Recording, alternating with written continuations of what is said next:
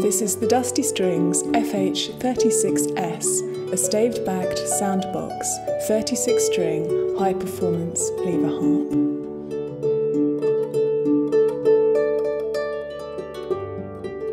The sides and back of the FH36S staved backed model consists of five facets of book matched wood, as opposed to the rectangular shape of the FH36B. This design puts a flat facet rather than a corner against the player's shoulder.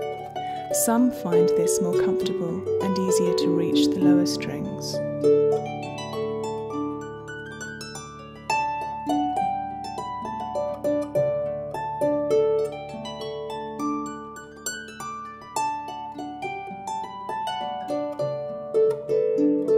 With a full five octaves, starting and ending on C, the FH36S has an ideal range and size for a lever harp.